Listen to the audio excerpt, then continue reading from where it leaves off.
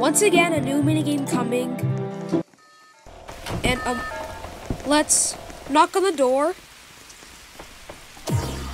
Okay, come on. Someone knocked it. And it's a trick, so we we gotta run from that skeleton. In the next 23 seconds. What? He already shot it! That was a little fast. Um, or ran with the laser gun. I don't know what